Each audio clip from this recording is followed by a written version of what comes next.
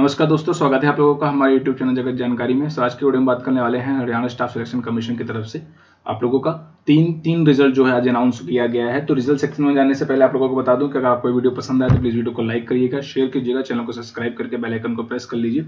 क्योंकि ऐसे latest information हम हरियाणा स्टाफ सिलेक्शन कमीशन की तरफ़ से आप तक पहुंचाते रहते हैं। तो चलिए वीडियो को स्टार्ट करते हैं। देखिए यहाँ पे जैसे आप रिज़ल्ट सेक्शन में क्लिक करेंगे तो यहाँ पे आप लोगों को तीन बड़े बड़े रिजल्ट्स का अनाउंसमेंट कर दिया गया है। सात, चार बटे दो हज़ार पंद्रह, चार बटे दो हज़ार, चार बटे मतलब तीनों के तीनों पीजीटी पंजाबी ठीक है? पीजीटी पंजाबी साथ साथ पीजीटी फिजिक्स और पीजीटी मैथमेटिक्स ठीक है?